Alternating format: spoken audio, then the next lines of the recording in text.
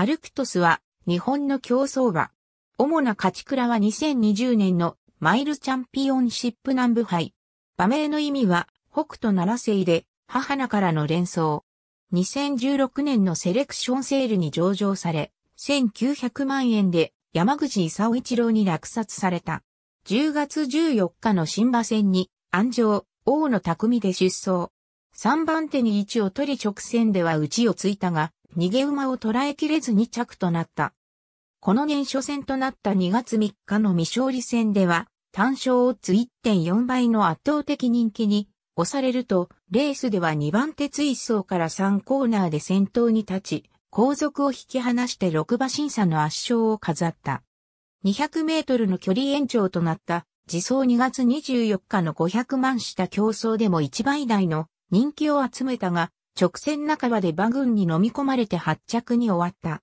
その後は、田辺博信を安城に迎えて、初の芝レースとなる5月20日の500万した競争に出走したが、9着に敗れる。再び、ダートに戻った6月10日の500万した競争では、ゴール200メートル手前で先頭に並びかけると、そのまま押し切り2着に3馬身1、2差をつけて優勝。続く6月30日の稲葉城特別では、後位追走から内をついて先頭に立ち、連勝で3勝目を挙げた。自走には、初の重賞挑戦となる8月5日のレパードステークスを選択。3番手追走から内をついて、前を追ったものの、外の馬に差し切られて5着となった。秋初戦の金州ステークスでは、単勝オッズ1.9倍の指示を受け、先手を取って逃げると最後まで粘り切って優勝し、オープン入りした。年明け初戦となった1月6日のポルックスステークスは、過去にそうして8着5着と苦手にしている1800メートル戦ということもあり6着に敗れたが、続く4月20日のオアシスステークスでは先段から前を差し切って優勝。次走5月25日のケヤキステークスでは一番人気に押され、前走で2着に破ったドリームキラリと叩き合いになったが、これを花差で下して連勝した。その後は2度目の重賞挑戦となる7月7日のプロキオンステークスに出走。前年の本レースを日本レコードで制し、前走はドバイゴールデンシャヒーンで2着に入ったマテラス会に次ぐ2番人気の指示を受けた。レースではマテラス会がハイペースで引っ張る展開の中で好位に位置を取り、ゴール100メートル手前でマテラス会をかわして先頭に立つと、外から並びかけてきたミッキーワイルドを振り切って優勝。3連勝で重賞初制覇を達成した。安城の田辺にとっては、区切りの重賞30勝目となり、管理調教師の栗田は2011年の開業以来24回目の挑戦で重賞初勝利となった。自走には初の J プニー参戦となる10月14日のマイルチャンピオンシップ南部杯を選択し、中間に皮膚炎にかかるアクシデントがあったものの無事に出走。ここまでマイル戦で4000無敗という高い距離適性が評価され、休養分けだった GI J プニー競争5勝馬、ゴールドドリームに次ぐ2番人気に押された。レースでは競り合って逃げる前2頭から離れた3番手に位置を取り、4コーナーで後ろから迫ってきたゴールドドリームの進出に合わせて追い出したが、外を回って先頭に並びかけていたサンライズの場の勢いに及ばず、最後は内から伸びたものの一馬身半差の2着で入選。安城の田辺はゴールドドリームを意識しすぎたかもしれない。それでも自分の競馬はできたし、初の G1 でよく食らいついてくれたと思うとコメントした。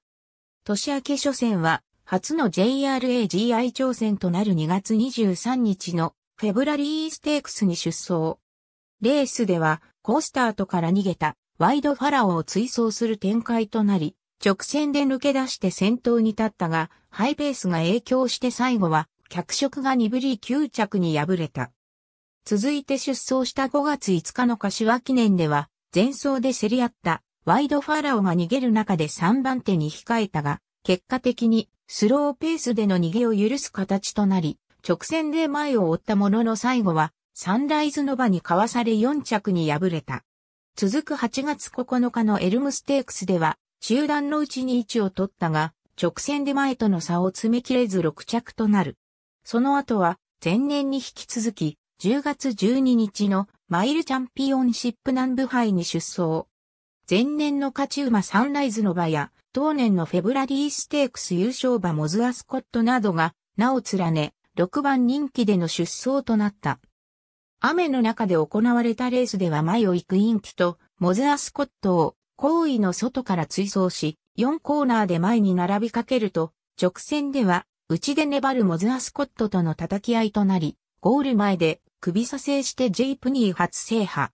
勝ちタイム1分32秒7は黒船が2001年、武蔵野ステークスで記録した1分33秒3を上回るダート1600メートルの日本レコードとなった。また、オーナーの山口、調教師の栗田は、これが初の GI 級競争優勝、当アドマイヤオーラにとっても、3区初の GI 級競争優勝であった。デビュー4戦目からコンビを組んできた安城の田辺は、若いうちからコンビを組んで、一段一段階段を上がってきて、ようやくここまで来られた。本当に馬を褒めてあげたいですね、とコメントした。続いて出走した12月6日のチャンピオンズカップは9番人気での9着に敗れ、この年を終える。この年は1月31日のネギシステークスから指導。南部杯優勝による別定金量 59kg を背負ったこともあって6番人気での出走となったが、直線で内を突き1着馬と0.2秒差の4着に入る。続くフェブラリーステークスではカフェファラオに次ぐ2番人気に押されたものの、最後は伸びを欠き9着となった。その後は、金沢競馬場の1400メートルで行われる秋の JBC スプリントを目標に掲げ、同じく小回りの1400メートルでのレースとなる6月3日の先玉杯に出走。道中5番手の追走から4コーナーで外に持ち出すと、内から伸びたエアスピネルを半馬審査で差し切り、重賞3勝目を飾った。以下の内容は netkeiba.com の情報に基づく。初の重賞制覇となった2019年のプロキオンステークスは7月7日に行われた同競争を母星新のりおの息子でありアルクトスの名を持つ本馬が優勝するという星尽くしの結果であった。なお、同日に福島競馬場で行われた七夕賞では当選誉れ星3区のミッキー・スワローが優勝している。ありがとうございます。